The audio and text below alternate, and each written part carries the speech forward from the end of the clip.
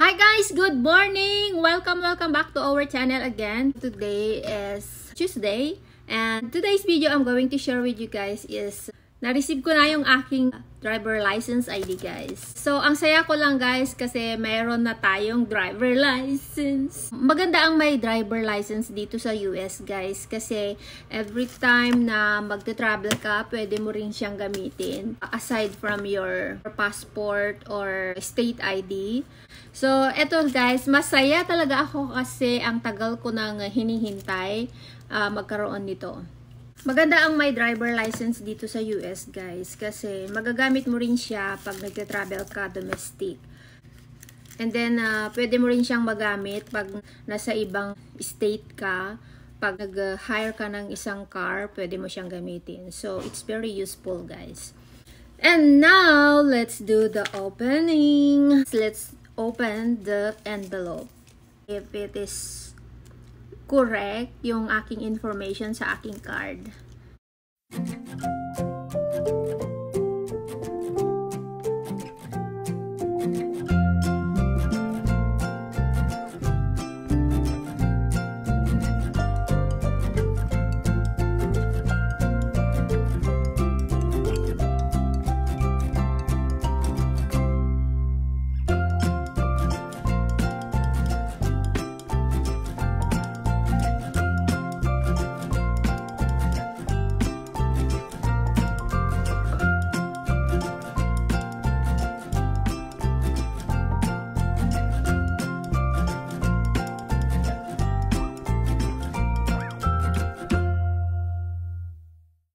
Please examine your driver license, ID card, permit to verify all information is correct.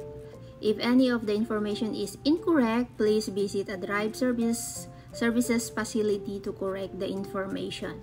If you receive a separate notice that your driver's license is revoked, suspended, or canceled, receipt of this driver license does not mean your privileges have been reinstated.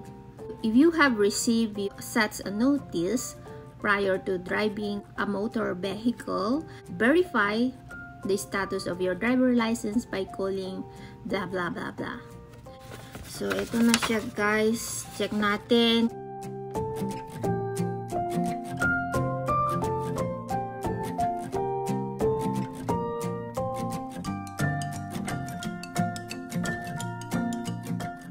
Para akong nasyak sa aking picture, guys. Oh, tingnan nyo naman.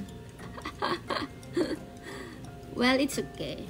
So, yun lang guys. So, yun lang guys. And I hope you are having your own driver license too. And you know the feeling of being uh, driving a car since you never touch a wheel when you were younger. You know guys, I am in a poor family.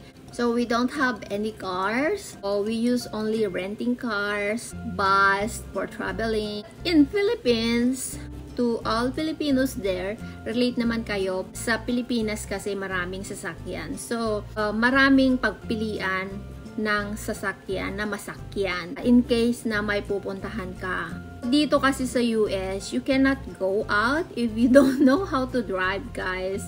You cannot go out anywhere parang naka, uh, naka-quarantine ka lang. For my experience now, it's very hard to stay in US but you need to adjust. Ang hirap talaga ng buhay Amerika guys. Huwag niyo sabihin pag nandito na kami sa US is madali na ang buhay. Excuse me. Hello. Lahat paghirapan mo. Hindi porket nasa abroad ka na is uh, mayaman ka na, hindi ka na naghihirap or something, you know. So, yun lang guys ang na-share ko ngayon and I hope sa susunod ikaw naman ang makikita ko magpo-post na meron ka ng driver license. Right? Just go on, go with the flow and be brave. be brave talaga. Ang aking uh, story of my driving lesson here, ang hirap you know, pag naisip ko yung simula guys is maiiyak na lang ako kasi nung uh, sabihin ng asawa ko na study how to drive, I don't know what to say. I just say yes. Okay. That's it. But deep inside, guys, no, no, no. Hindi pa na nahahawakan yung wheel, takot na takot na. So, ayun. So, ito na siya, guys. Uh, I'm ready to drive now far, far, far away.